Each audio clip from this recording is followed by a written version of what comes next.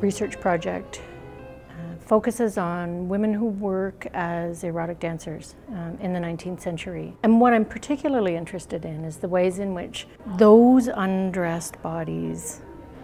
produce particular kinds of meanings, the ways in which we read them. Class and race come into play so that what we start to see around the middle of the 19th century is quite a lot of middle class white women who take up this work of erotic dance. They represent ideas of femininity kind of hyperbolically or more clearly than might otherwise be evident. It's one of the reasons why I don't like to use the, the, the term exotic, um, because it suggests that they're somehow outside of the ordinary run of femininity, when in fact what they're doing is they're actually performing really quite conventional ideas of femininity in that imperial context. There are a lot of photographs and a lot of postcards, so there's a really clear indication that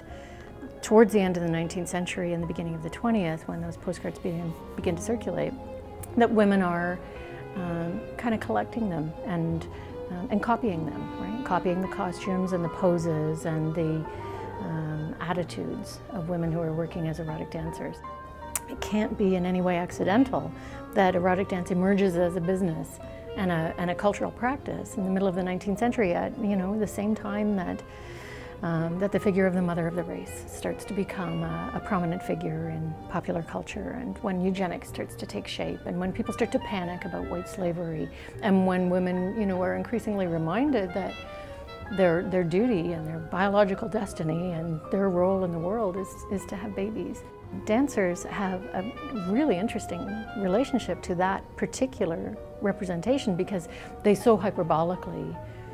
um, affirm the construction of women as reproductive bodies.